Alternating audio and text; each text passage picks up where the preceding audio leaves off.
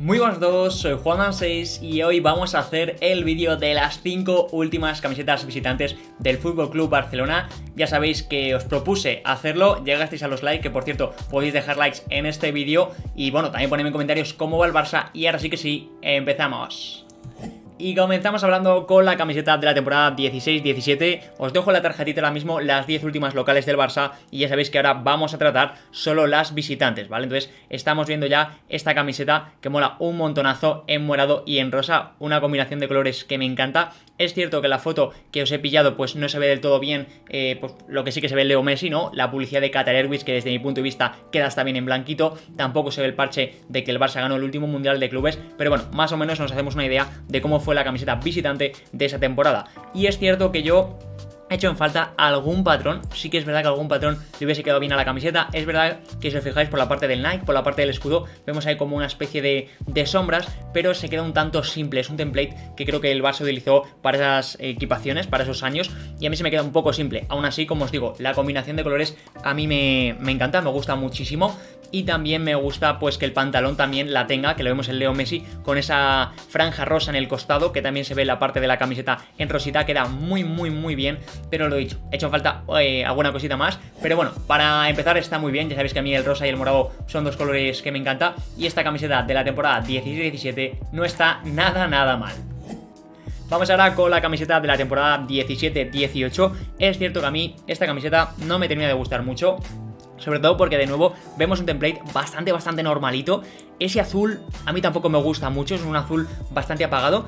Creo que de hecho si os fijáis bien en la parte del Nike y en la parte del escudo volvemos a ver como esas sombras que veíamos en la camiseta de la temporada 16-17, solo que a mí esta vez no me gustan los colores. En Leo Messi vemos que la parte del costado es como granate, ya la verdad es que casi no me acuerdo de esta camiseta, pero la foto que vemos en la izquierda, lo que es la camiseta, parece más azul oscuro, gris, aunque es cierto que la parte de arriba, eh, en una franja que rodea el cuello, un cuello que vemos ahí como, como en V, sí que se ve como el, el azulgrana, ¿no? Un poquito de azul, un poquito de rojo o de grana, no sé si lo podéis ver bien, yo más o menos sí que, sí que lo consigo distinguir desde aquí, y luego también vemos que el Rakuten va en negro, ¿no? Por lo menos esa es la sensación que a mí me da, hubiese quedado mucho mejor o en rojo o en azul, pero no en negro, como que no contrasta mucho, es una camiseta muy muy simple que parece más de entrenamiento, yo desde luego me quedo, me quedo con la otra, porque está se queda demasiado, demasiado sosa. Si la otra ya decíamos que se quedaba sosa, esta desde luego que, que, también. Y por eso a mí, esta camiseta de las que vamos a ver, yo creo que es la que menos me gusta. Y bueno, si habéis llegado hasta aquí, es importante que dejéis un like, que os suscribáis y ponedme ideas. ¿Qué más equipos queréis ver en esta serie? Recordad que son solo las 5 últimas, pero aquí las vamos a traer todos los sábados, así que importante que estéis activos.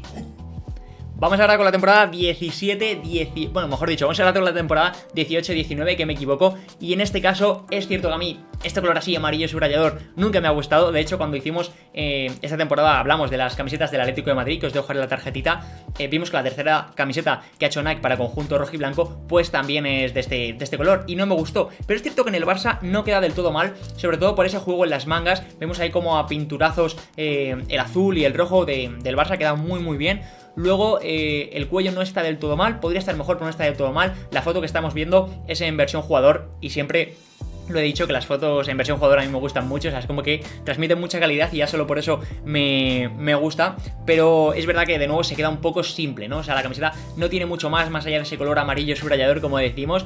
Eh, el azul del, creo que es el Nike, ¿no? El, el, Nike me parece que va en azul, si no me equivoco, eh, o va en negro, es que tampoco se ve muy bien en la foto, decídmelo en comentarios, el Rakuten sí que va en negro, cosa que no queda mal, pero creo que de nuevo, si se ha jugado en las mangas con el rojo y con el azul, pues en el Nike, en la publicidad, en el propio cuello, se podía haber jugado, se podía haber metido algo más, entonces bueno, esta camiseta de la temporada 18-19 no está del todo mal, creo que sí que está mejor que la anterior, a mí personalmente me gusta más la morada y rosita, pero bueno, que por lo menos Nike ahí sí que innova un poco más, ya sabéis que en estas equipaciones visitantes la evolución que vamos a ver es mayor, porque sí que se la juegan más los equipos, en las locales suelen ser un poquito más conservadores y siempre utilizar los mismos colores, pero en las segundas equipaciones sí que mola, y por eso yo creo que esta serie va a estar muy muy interesante.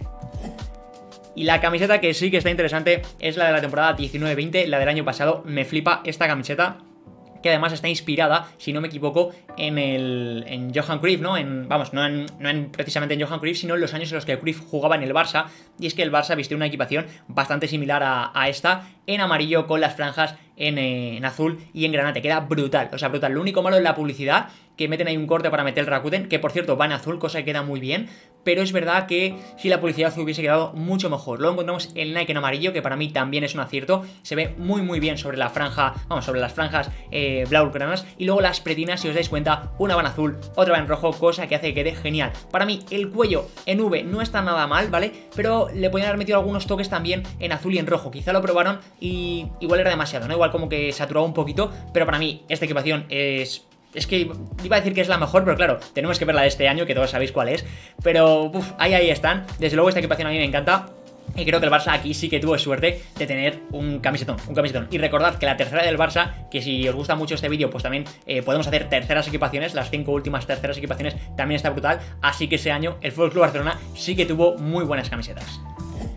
Y vamos ya con la de este año. Vemos ahí en Sufati, vemos temporada 2021. Una camiseta que yo ya hice la review, ¿vale? Que os la dejo ahora mismo en la tarjetita. Y me flipa este camisetón. Es cierto que es un hiper mega simple, ¿vale? Es muy muy básica pero es súper elegante. Ya lo hemos dicho mil veces que el negro y el dorado contrastan genial. Y además es que Nike lo hace muy bien porque le mete a la publicidad, al Rakuten, como unos brillos que hacen que quede muy bien, que destaque la propia publicidad. El escudo del Barça en monocromático también queda muy muy bien en dorado. El Nike, por supuesto, también. Pero es que luego el cuello y las petinas no son simples, sino que están bien integradas con ese dorado, también con líneas en negro, porque si os dais cuenta, la pretina acaba en negro. Luego el beco, que es la publicidad que está en la manga eh, izquierda, pues también queda muy muy bien. O sea, Está bien hecho en dorado, no va en blanco o va en otro color que desintegre con el negro y con el dorado.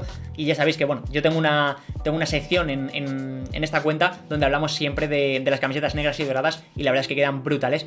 Y esta pues no iba a ser menos, por eso para mí es... Es que no sé si es la mejor Ahí, ahí, decimos vosotros en comentarios qué pensáis, si os gusta esta, si os gusta más la anterior, la de la temporada eh, 19-20, la amarilla, que también está brutalísima, pero desde luego que son eh, auténticos camisetones. Y bueno, os recuerdo que si os ha gustado el vídeo, podéis dejar un like, os podéis suscribir por aquí, creo que es, porque ahora me pierdo un poco. También os dejo por aquí las 10 últimas del Barça, y es importante que me mandéis a mi correo, juandam6yt.gmail.com, las 5 últimas camisetas de los equipos que queréis ver, ¿vale? Visitantes, y nada, yo lo, lo analizaré por aquí. Espero que os haya gustado el vídeo, muchísimas gracias por estar, y mañana nos vemos en uno nuevo. Adiós.